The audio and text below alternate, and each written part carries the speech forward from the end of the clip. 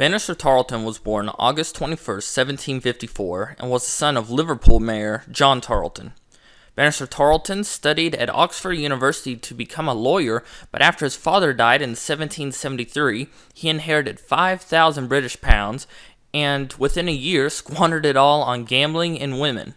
But with his remaining money, he bought a commission as a cornet or lieutenant in the 1st Dragoon Guards. Now, the 1st Dragoon Guards at the time were some of the most elite British cavalry units in the world. When the American Revolutionary War broke out, he left the Dragoon Guards and joined the 16th Light Dragoons and sailed with Charles Cornwallis to America. On June 4, 1776, he reached South Carolina as a part of a mission to capture Charleston, South Carolina, with General Sir Henry Clinton, who was the overall commander of British forces in America.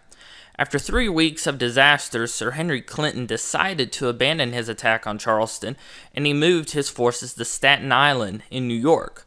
Tarleton had seen no action in South Carolina.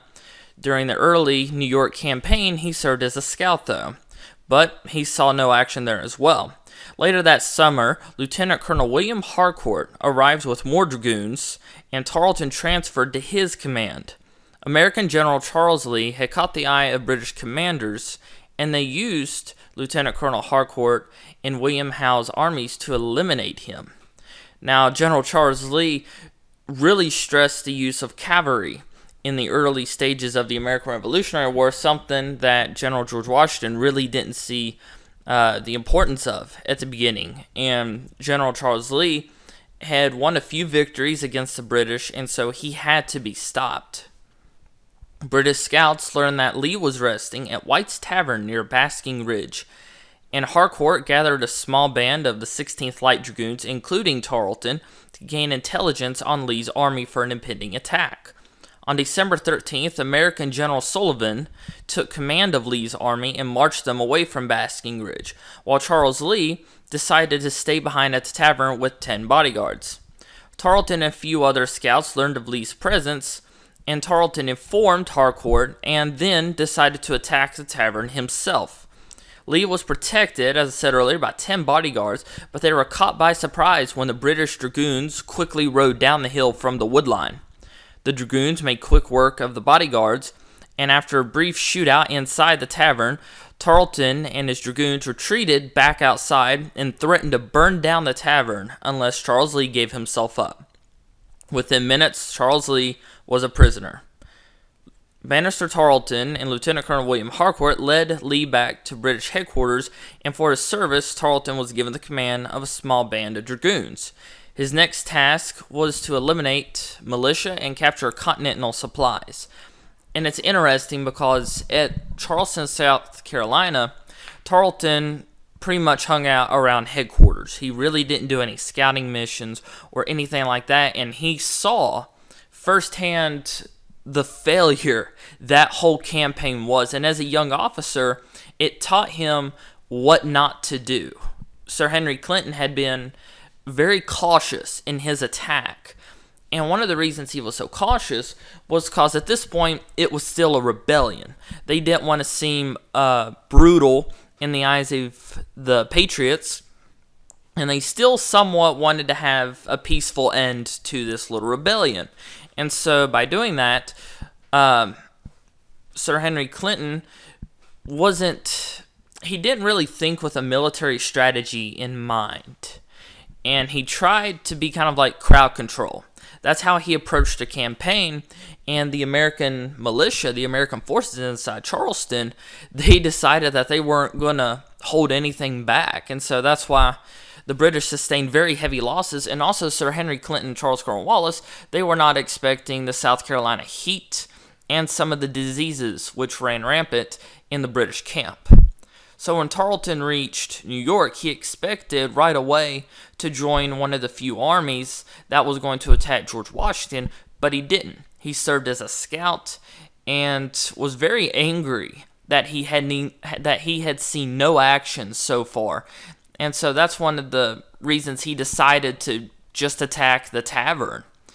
And for his service, it was very surprising for the higher ups. Were like, we didn't order this, and part of them was they were angry that he had disobeyed orders and all that stuff, but they were happy to finally have Charles Lee captured.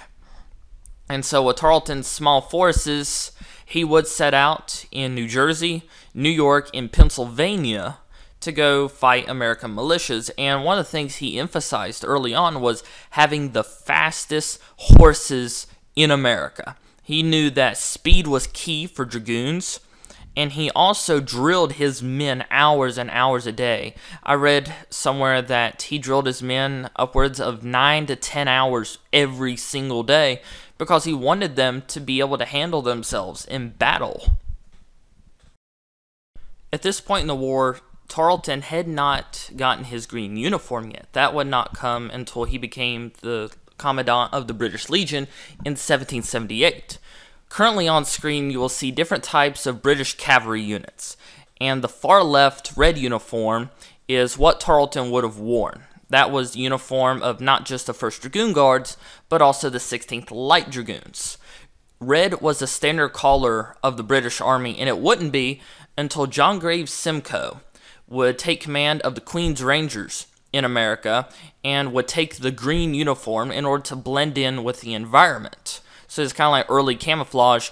And John Graves Simcoe was an early mentor to Tarleton. He saw a lot of potential in Tarleton, and believe it or not, after John Graves Simcoe was captured the very first time, Tarleton ended up taking command of the Queen's Rangers for a very short time.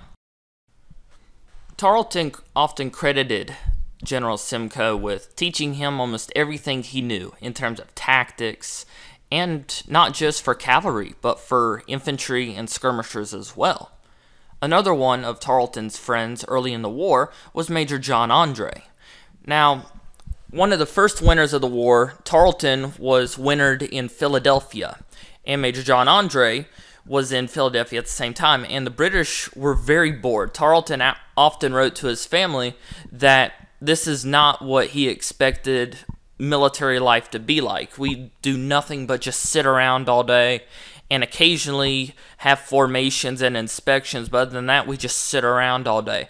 And so Tarleton and Major John Andre decided to start a theater troupe in order to entertain the soldiers, and Major John Andre would compose the music and he would create the sets. So that's a little fact that I didn't know until recently about Major John Andre. And Tarleton was very fascinated with theater and the arts, and he was one of the frequent actors in these plays.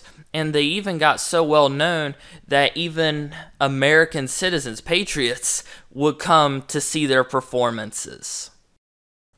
One of the things also Tarleton talked about was how the British military worked he saw early on that in order to get position or anything like that, you had to be in favor and kind of kiss butt of the higher ups, not just the generals, but the king and all that stuff. And that was something that Tarleton spoke out against in public and all of that stuff. So he was not a very liked person by his commanding officers, but all of them respected his ability.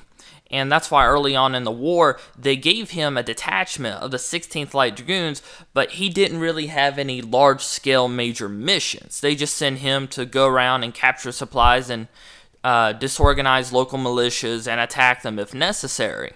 But it wouldn't be until around the Saratoga campaign that he would see some major action.